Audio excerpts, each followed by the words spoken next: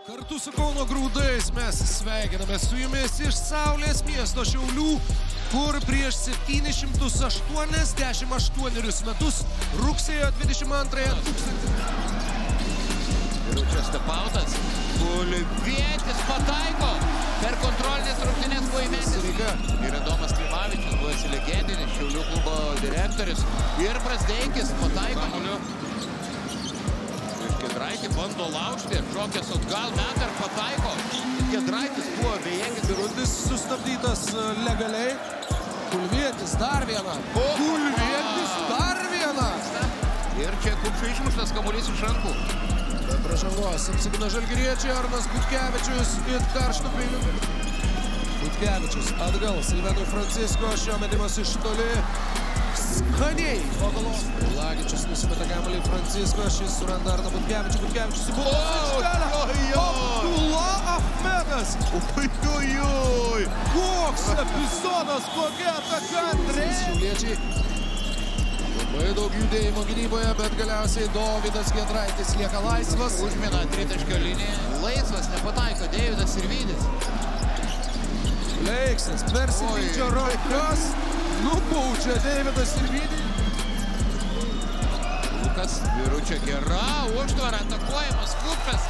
Kupšas nekyla, flet pasivyja gynybą, bet Virutis pasitinka Uliacką, Uliackas gražiai suranda Kupšą ir šis grūda kamuolį iš...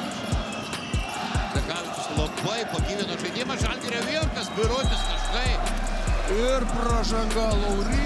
Gerai pasitiko Gedraitis, įsibėgėjusi Buchananą ir jo perdavimas baigėsi klaida. Danstono išmuštas kamuolys. O, Abdullah Ahmedas bei e, Dovydas Gedraitis. Atsiprašau, Prasdeikis yra ant parketo. Čia geras Uliacko perdavimas ir Kupšo taškai.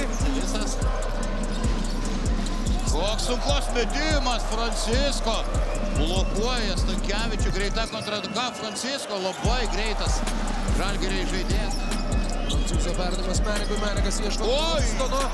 Danstonas gauna bloką nuo lanko, bet savo vis tiek galiausiai pasiekė. Reidas ir vėl taškų nėra. Danstonas pusė galvo žemesnis už kupšą. Žaibiška kontrataka. O čia e, neįsipaišė į žaidimą, žaidė vos 4 minutės. Ir čia vėl individualus reidas Skaičiavau kiekvieną tašką. su skaitliukais.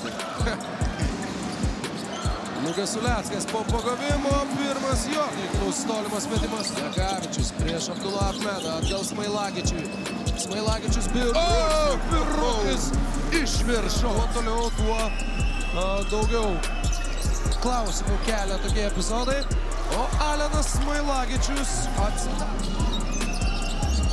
Francisko, kaip Jurkas. tarp Oi, kokia graži ataka Francisko, kokia žaidžia Buchananas.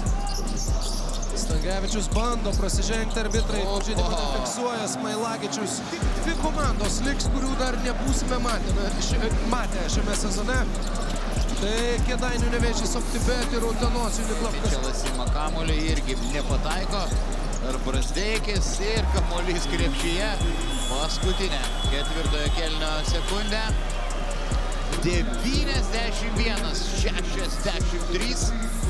Žalgiris pranoksta savo varžovus rašo pirmą pergalę.